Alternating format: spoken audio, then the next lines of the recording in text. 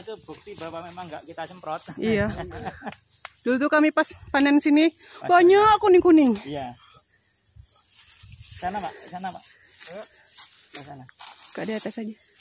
Nah itu tuh, itu satu. Ini juga. Diambil aja. Oh belum, belum mateng. Jadi ceritanya kami tuh eh, ke kebun baptis, kebun kalamansi, kampung kalamansi. Terus eh, sekarang mau beli adanya belimbing, tapi udah habis panen. Sama mau beli nyari jambu. Ada kopi luwak juga, ada susu. Susu kambing, eh tawa. Nah ini yang masaknya. Yeay. Eh, baru dibungkus yang kuning-kuning ini. Hmm. Panennya berapa kali sebulan? Ya, tentu sih melihat yang tua aja karena itu kan alami ya. Kemarin tuh yang di situ aku ini ini nggak ngelihat yang di sini. Ya, nggak- Ini lebih banyak. Mm, mm, lebih banyak pohonnya. Bu, kalau mau Oh, iya, berapa banyak bu? Harganya ya itu. Banyak. Nih guys, fresh. Oh ini, taruh dulu. Agak lebih kecil buahnya yang ini ya. Iya. Wah itu tuh, Ini merah kali.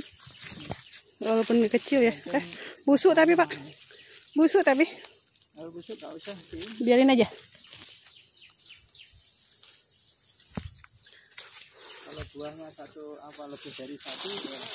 Iya lebih kecil-kecil yang ini. Wah kemarin tuh gede-gede banget. ya.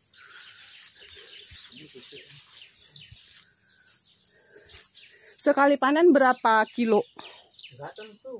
Hmm, Rata-rata ada 50-an. Nggak. nggak. Menyampe. Ya.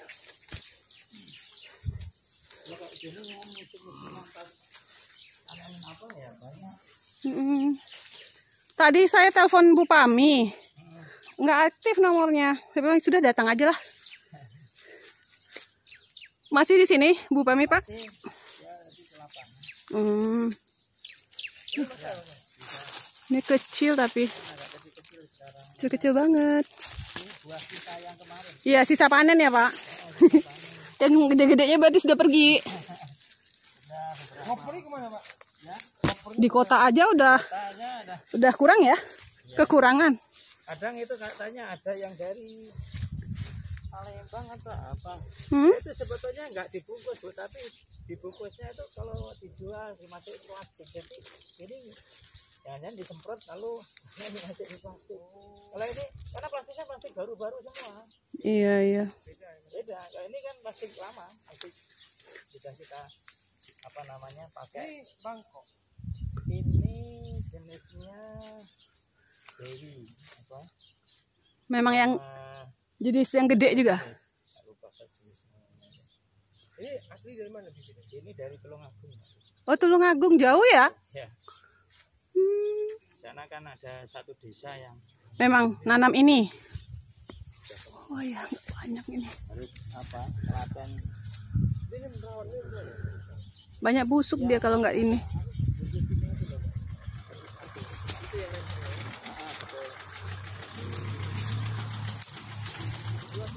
kayak gini. Ini punya ini udah terlambat untuk kita.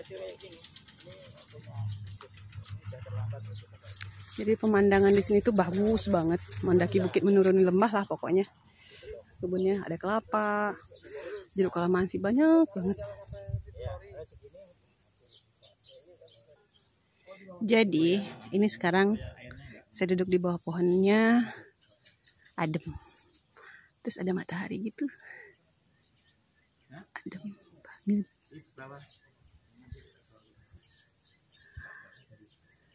Di bawah. Satu pohon tuh di batangnya.